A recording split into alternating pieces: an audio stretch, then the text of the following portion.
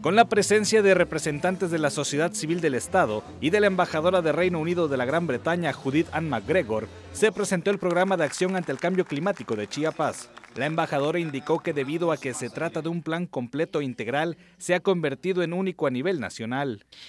Quisiera dar mis felicidades también al gobierno, especialmente al gobernador uh, Sabinas, para promover y tener esta iniciativa de un plan de acción estatal a este nivel tan completo que es completamente uh, el primero en México. La diplomática británica reconoció que el gobierno de su país es un socio firme de Chiapas que ha demostrado voluntad de luchar contra el cambio climático, lo que ha hecho la diferencia. Que lo que pasa en un estado como Chiapas con sus bosques, con su naturaleza extraordinarios y biodiversidad, que si este se pierde es una tragedia, para, no solamente para nuestro clima global, pero también para nuestra economía global.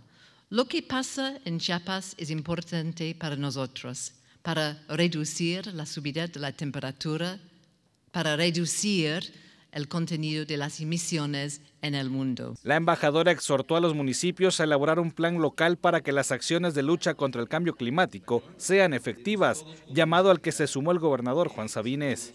El poder contar en cada, en cada municipio con un programa, con un plan de trabajo para el cambio, cambio climático, creo que es una oportunidad formidable donde debemos tomar la palabra. Yo exhorto respetuosamente a las y los presidentes municipales a tomar la palabra la embajadora y empezar a trabajar en un plan municipal. El mandatario chiapaneco indicó que en la entidad, además de conformar este programa, también se han consolidado acciones como la producción de biodiesel a través del aceite del piñón y el programa Red Plus que se implementó en la selva Lacandona y próximamente en el municipio de reciente creación Belisario Domínguez.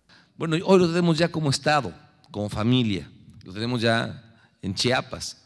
Debemos de pasar ahora al nivel local, al nivel municipal, al nivel municipal que se pueda trabajar. Yo creo que ya ningún gobierno puede entenderse si no tiene una propuesta muy clara, muy contundente en temas de cambio climático. Chiapas la tiene, Chiapas la tiene y le hemos ejecutado conjuntamente. En un principio son cinco municipios los que trabajarán de manera directa con la Embajada Británica el Plan Municipal de Acción contra el Cambio Climático, una labor en la que también participa el Consejo Internacional para las Iniciativas Ambientales Locales. El director de dicho organismo, Edgar Villaseñor, indicó. Felicita a todos ustedes por este excelente trabajo, que es un ejemplo a nivel nacional e internacional, porque no todos lados se tiene un plan de acción climática y ustedes mismos se estarán dando cuenta de la gran importancia que representa tener este documento. Según este programa de acción ante el cambio climático de Chiapas, el 57% de las emisiones de gases de efecto invernadero en la entidad es generada por el cambio de uso de suelo, situación que puede combatirse con programas como Red Plus y de reforestación.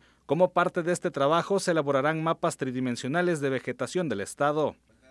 La intención es que a través de la participación de universidades, asociaciones civiles, ayuntamientos, dependencias del gobierno federal y del Estado, se logre educación y concientización social, así como detectar indicadores de vulnerabilidad, estrategias de mitigación y adaptación.